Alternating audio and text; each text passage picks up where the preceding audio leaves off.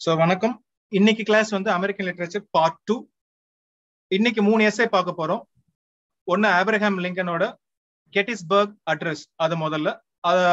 அதுக்கப்புறமா Martin Luther king junior அவரோட I have a dream அதுக்கப்புறம் Henry தோரோட the battle of the ants சரியா? So இன்னைக்கு இந்த மூணுத்தையும் பட்டு முடிச்சிடலாம். So will go to the class Abraham Lincoln's Gettysburg address so நம்மளுக்கு எல்லாருக்கும் தெரியும் Abraham Lincoln the sixteenth president of the US US அப்படின்னு சொன்னாலே ஆப்ரஹாம் லிங்கனை தெரியாத ஆள் இருக்காது. அதே நேரம் இந்த ஸ்லேவ் விடுதலைக்காக இந்த கருப்பு வெள்ளை அப்படிங்கிற ஒரு சண்டை போயிட்டு இருக்கிறப்ப வந்து ஒரு வார் நடத்தி ஒரு சிவில் வார் நடத்தி ஒரு uh, கருப்பின மக்களுக்கு வந்து ஒரு உதவி செய்து வருகிறார் ஸோ இன்னைக்கு ஒரு இந்த அட்ரஸ் எதுக்கு இவர் எந்த இடத்துல இதை பேசினாரு அப்படின்னு முதல்ல தெரிஞ்சுக்கிட்டு அதுக்கப்புறம் போவோம்.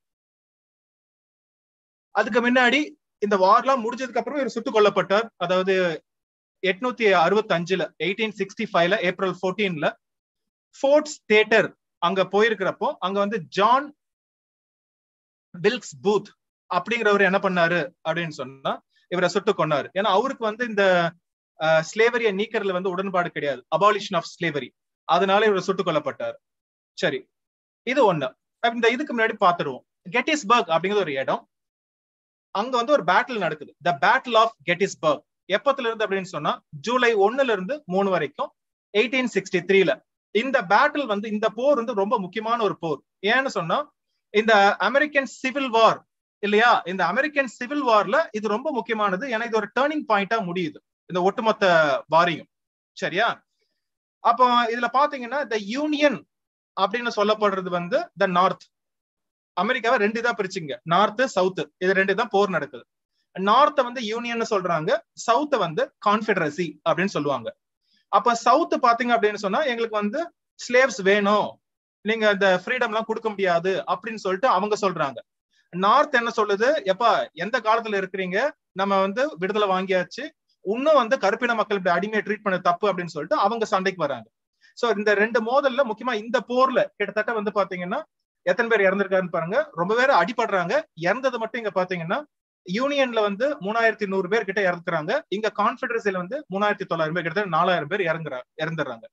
சோ இந்த ஒரு போர் வந்து ஒரு மிகப்பெரிய மாற்றத்தை ஏற்படுத்துது. அப்ப இதுக்கப்புறமா இந்த போர்ல இறந்தவங்களுக்கு நினைவா ஒரு சிமெண்ட்ரி கட்டுறாங்க ஒரு கல்லறை கட்டுறாங்க இல்லையா? அதான் வந்து the Gettysburg civil war cemetery அந்த கல்லறையில வந்து கட்டிட்டு அதாவது இந்த இந்த போர்ல உயிரிழந்தவங்களுக்கு ஒரு நினைவு ஒரு நினைவு சின்னமா ஒரு நினைவிடமா கட்டுறாங்க. அது அந்த இதை சமர்ப்பிக்கிற அப்புறமா ஒரு பேச்சு கொடுக்கிறாரு அப்ரஹாம் லிங்கன். அதுக்கு முன்னாடி ஒருத்தர் பேசுறாரு. November nineteen eighteen sixty three யாரு ஸ்பீக்கர் அப்படின்னு சொன்னா எட்வர்ட் எவ்ரட். ஸோ இவர் யாரு? Former dean of Harvard university. இவர் தான் முதல்ல பேசுறாரு. இவர் தான் அன்னைக்கு முதன்மையான ஸ்பீக்கர். கிட்டத்தட்ட ரெண்டு மணி நேரம். ரெண்டு மணி நேரம் வந்து பேசிக்கிட்டே இருக்கிறார். சோ ரெண்டு மணி நேரம் பேசினதுக்கு அப்புறம் அது வந்து ஒரு வரலாறு எல்லாம் மையமா வச்சுக்கிட்டு ரெண்டு மணி நேரம் பேசி முடிக்கிறார். ரெண்டு மணி நேரம் முடிச்சதுக்கு அப்புறமா நம்ம லிங்கன் வந்து வர்றாரு. சோ லிங்கனோட உங்களுக்கு அந்த ஃபேமஸ் லைன் தெரியும் முதல்ல எப்படி தொடங்கும்? அப்படின்னு சொன்னா four score and seven years ago score அப்படின்னா இருபது அப்படின்னு அர்த்தம். சரியா?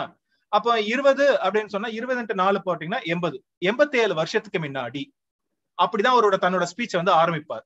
சோ எண்பத்தி ஏழு வருஷத்துக்கு முன்னாடி அப்படின்னு சொன்னா ஜூலை நாலு செவன்டீன் செவன்டி சிக்ஸ் அன்னைக்கு என்ன நடந்துச்சு அப்படின்னு சொன்னா டிக்ளரேஷன் ஆஃப் இண்டிபெண்டன்ஸ் அதாவது அமெரிக்கர்கள் வந்து பிரிட்டிஷ்காரர் சொல்றாங்க எங்க நாடு விடுதலை வேணும் அப்படின்னு சொல்லிட்டு தாங்களாவே டிக்ளேர் பண்ணிக்கிறாங்க. எங்க நாடுக்கு வந்து விடுதலை கிடைக்கணும்னு சொல்லிட்டு.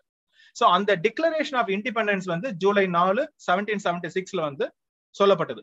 அப்ப இவர ஸ்பீச் அது ஒரு ஸ்பீச் ஆரம்பிக்கிறப்போ அதை நினைவு கூறுறாரு அன்னைக்கு வந்து சுதந்திரம் கேட்டது எல்லாருக்கும் தான் கேட்டோம். வெறும் வெள்ளையர்களுக்கு மட்டும் கேட்கல அப்படின்னு சொல்லிட்டு நினைவூட்டுறாரு. அப்ப இந்த ஸ்பீச்சை கொடுத்த வருஷம் வந்து எட்நூத்தி அறுபத்தி மூணு. சரியா? இயர் கொஞ்சம் ஞாபகம் வச்சுங்க. இதே மாதிரி ஸ்பீச் இங்க பொறுத்த வரைக்கும் எந்த இடத்துல கொடுத்தாரு எதுக்காக கொடுத்தாரு வருஷம் இது வந்து கேள்வியா வரும்.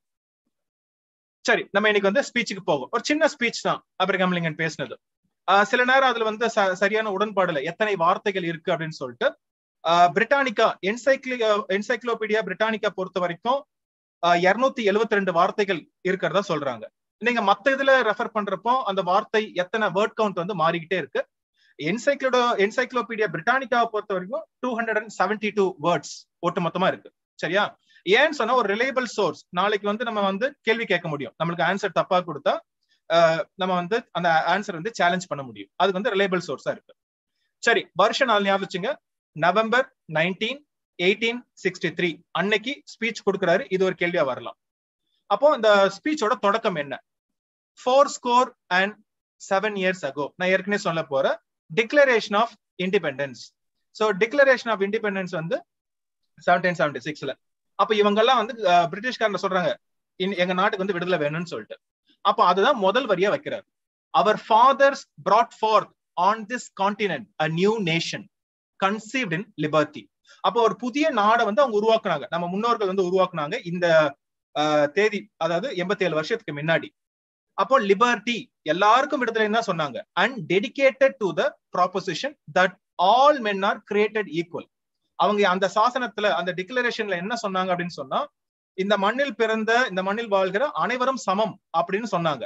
அதை வந்து இன்னைக்கு நம்ம கடைபிடிக்கிறோமா அப்படின்னு அவர் கேட்கிறார். அப்ப முதல் வரியில அது முடிக்கிறார். அடுத்து நவ் அப்ப இந்த அக்கேஷன் எதுக்கு அப்படின்னு சொல்லிட்டு அடுத்த பேராகிராஃப்ல சொல்றாரு. Now we are engage in a great civil war அப்போ இந்த உள்நாட்டு போர் அதாவது யூனியனுக்கும் கான்ஃபெடரசிக்கும் நார்த்துக்கும் சவுத்துக்கும் இந்த உள்நாட்டு போர் ஏன் வருது? எதுக்காக நம்ம இந்த போருக்கு இறங்குறோம் அப்படின்னு சொன்னா டெஸ்டிங் நம்ம எதை டெஸ்ட் பண்றோம்? வெதர் தட் நேஷன் அன்னைக்கு சொன்னார் இல்லையா? அந்த கனவு கண்ட அந்த நாடு or any nation so conceived and dedicated can long endure அப்படி அனைவரும் சமம் அப்படிங்கிற ஒரு நாடை வந்து உண்டு பண்ணாங்க இல்லையா? அது வந்து எவ்வளவு நாள் தாக்கு பிடிக்கும்? எவ்வளவு நாள் இருக்கும்? என்டியூர் லாஸ்ட் எவ்வளவு நாள் அது மாதிரி நாடு இருக்க போகுது? அப்ப அது நீடிக்கணும் அப்படின்னு சொன்னா அந்த சண்டைக்கு நம்ம போயாகும் we are met on a great battlefield of that war அதனாலதான் இந்த போருக்கு நம்ம போனோம். ஏன்னா சவுத்துக்காரங்க வந்து ஒத்துக்க மாட்டேன்ட்டாங்க. இல்லையா? அப்ப எங்களுக்கு வந்து அடிமைத்தனம் வேணும். அது வந்து அபாலிஷ் பண்ண விட மாட்டேன் அப்படின்னு சொன்னதால் நம்ம வந்து போருக்கு போனோம். We have come to dedicate a portion of that field அப்ப நம்ம இந்த இடத்துல ஏன் கூடியிருக்கோம்? கெட்டிஸ்பர்க்ல ஏன் கூடியிருக்கோம்னு சொன்னா இந்த நிலத்துல உயிரை விட்டவங்களுக்கு வந்து இதை வந்து சமர்ப்பணம் பண்றதுக்காக இங்க கூடியிருக்கோம். As a final resting place for those here gave their lives that that nation might live so அப்படி ஒரு கனவு கண்ட நாடு வாழணும் அப்படிங்கறத இந்த இடத்துல உயிர் தியாகம் பண்ணவங்களுக்காக இந்த இடத்துல நம்ம கூடியிருக்கிறோம். It is altogether fitting and proper that we should do this நம்ம இதை வந்து பண்றதுல ரொம்ப ப்ராப்பரா இருக்கு. ஏன் பண்றோம் அப்படிங்கிறதுக்கு ஒரு காரணம் இருக்கு. But in a larger sense ஆனா கொஞ்சம் ஒரு வேற வேற ஒரு கண்ணோட்டத்துல பாக்குறப்போ டி கேனாட் டெடிகேட் நம்ம வந்து இந்த கல்லறை தோட்டத்தை செமெண்ட்ரி வந்து உயிரிழந்தவங்களுக்கு வந்து டெடிகேட் பண்ண முடியாது. ஏன் தெரியுமா? We cannot consecrate we cannot hallow இந்த ரெண்டு வார்த்தை என்ன மீனிங் சொன்னா யூ மேக் சம்திங் ஹோலி ஒரு இதை புனிதப்படுத்துறது தான் வந்து கான்செக்ரேட் அப்படிம்பாங்க. இல்ல ஹேலோ அப்படிம்பாங்க. நம்ம ஒண்ணு இந்த இடத்த வந்து புனிதப்படுத்த வேணாம். இல்லையா? திஸ் கிரவுண்ட் ஏன்னு சொன்னா இந்த மண்ல உயிரை விட்டாங்க இல்லையா? The brave men living and dead ஏன்னா அந்த போர்ல வந்து சில பேர் வந்து உயிர் பொழைத்தார்கள். ஏன்னா ஒண்ணு அடிபட்டு கிடக்குறாங்க. சில பேர் இறந்துட்டாங்க. Who struggled here and have consecrated it so இந்த இடத்துல உயிர் விட்டவங்களும் இந்த இதுக்காக போறவங்களும் அவங்களே இந்த பூமியை வந்து புண்ணிய பூமியா மாத்திட்டாங்க. நம்ம ஒண்ணு புண்ணிய பூமியா மாத்த முடியாது. Far above our poor power to add or detract so அதனால நம்மளுக்கு வந்து எந்த ஒரு தகுதியும் இல்ல எந்த ஒரு பவரும் கிடையாது. அவங்க இந்த பூமியை ஏற்கனவே வந்து ஒரு நல்ல பூமியா மாத்திட்டு போயிட்டாங்க. The world will little note not long remember what we say here அதாவது இந்த உலகம் வந்து நான் இன்னைக்கு சொல்ல போறதையோ நம்ம இன்னைக்கு இங்க கூடி ஏதோ பேசுறதையோ அதெல்லாம் வந்து கணக்கெடுத்துக்காது. ஏன்னு சொன்னா but it can never forget what they did here அந்த மக்கள் அதாவது அந்த சோல்ஜர்ஸ் உயிரை விட்டாங்கல்ல அதை மறக்க மாட்டாங்க. நான் பேசுனது கூட அந்த உலகம் மறந்துடலாம். இல்ல நம்ம அங்க கூடியிருக்கிறத மறந்துடலாம். ஆனா அந்த வீரர்களோட உயிர் தியாகத்தை மறக்காது. ஆனா என்னன்னா ஒரு லிட்டில் ஐரினி இன்னைக்கு அந்த ஸ்பீச் தான் எல்லாருக்கும் ஞாபகத்துல இருக்கு. So it is for us the living அதனால இந்த உயிர் பிழைத்த நம்ம உயிர் வாழ்ற நம்ம rather to be dedicated here to the finished work unfinished work அப்ப நம்மளோட கடமை என்ன அப்படின்னு சொன்னா இந்த டெடிகேட் பண்றது நம்ம வேலை கிடையாது. நம்ம என்ன பண்ணணும்னு சொன்னா அந்த சோல்ஜர்ஸ் வந்து எதுக்கு உயிரை விட்டாங்களோ அந்த பணிக்காக அது ஒன்னும் நிறைவடையல. ஏன்னா ஒன்னும் போர் முடியல. ரைட்டா இது ஒரு முக்கியமான ஒரு டேர்னிங் பாயிண்ட் தானே தவிர ஒன்னும் சிவில் வார் முடிவுக்கு வரல. அப்ப அவர் என்ன சொன்னாரு? இன்னும் நம்மளுக்கு வந்து முடிவு அந்த பயணம் போகணும். இன்னும் பல பேட்ல வந்து சந்திக்க வேண்டியதா இருக்கு. அந்த அன்பினிஷ்டு ஒர்க்கை நம்ம வந்து டெடிகேட்டடா முடிச்சு வைக்கணும். Which they who fought here have thus far so nobly advance so இங்க உயிர் விட்டவங்க இது வரைக்கும் அவங்களோட கடமையை சரியா பண்ணிட்டு போயிட்டாங்க. நம்ம இங்க இருந்து இன்னும் கொஞ்சம் போர் பண்ணணும் அப்படின்னு சொன்னா நம்ம வந்து அப்படி ஒரு நேஷன் ஒரு சுதந்திரமான நேஷனை உருவாக்கணும்னு நினைச்சோம் இல்லையா? அது வந்து அந்த கனவு உணவு நினைவுக்கு வந்துரும் அப்படின்னு சொல்லிட்டு போறாரு. அப்ப என்னன்னா இஸ் ஆஸ்கிங் த சிட்டிசன்ஸ் அதான் நீங்க என்னன்னா போருக்கு வாங்க அப்படிங்கிறார். நீங்க வந்து தயங்காதீங்க போருக்கு வாங்க. ஏன்னா பல பேர் இறந்துட்டாங்க இல்லையா? அப்ப வந்து ரெக்ரூட் பண்ற மாதிரியும் இது இருக்கு. அதனால தான் இந்த ஸ்பீச் பாத்தீங்கன்னா டெடிகேட் பண்ற மாதிரி இருக்கு ரெக்ரூட் பண்ற மாதிரியும் இருக்கு. சோ வரலாறு பேசுற மாதிரியும் இருக்கும். அதுக்கப்புறம் கடைசியில முடிக்கிறார். It is rather for us to be here dedicated to the great task remaining before us அது திருப்பியும் வந்து ஸ்ட்ரெஸ் பண்றாரு. அப்ப நம்மளோட முதன்மையான கடமை என்ன அப்படின்னு சொன்னா அந்த டாஸ்க் ஒன்னும் கடமை நம்மளுக்கு முடியல. இந்த போர் முடிவுக்கு வைக்கணும்.